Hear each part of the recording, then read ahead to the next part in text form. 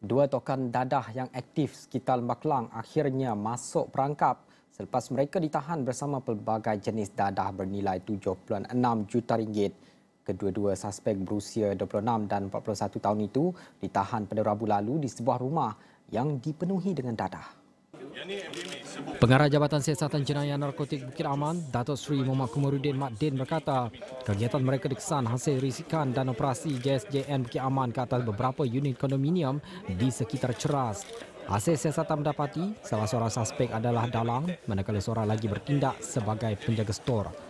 Dalam serbuan itu, polis menemui 134.87 kg syabu, 8.25 kg pil eramin 5, 25.54 kg pil ekstasi, 8.26 kg ketamin dan 6.05 kg serbuk MDMA. Koordinator akan menerima pesanan uh, daripada pelanggan-pelanggan uh, mereka dan koordinator ini akan mengarahkan runner dan juga storekeeper dia untuk menghantar menghantar. Kalau dalam uh, lembah Kelang ini mereka akan mereka hantar sendirilah.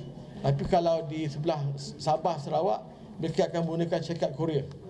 Dan uh, masa kita buat tangkapan tersebut uh, kita dapati uh, mereka sedang buat apa ni pack sedang pack untuk dihantar ke ke Sabah dan juga Sarawak. Polis merampas pucuk pistol tiruan disyaki digunakan antara pesaing dan penguat kuasa. Menurut Kamarudin, dadah yang dirampas boleh dibekalkan kepada 850,000 penagih. Kedua-dua suspek direman 7 hari sehingga 27 Februari bagi membantu siasatan. Kes disiasat muka Seksyen 39B, Akta Dadah Berbahaya 1952.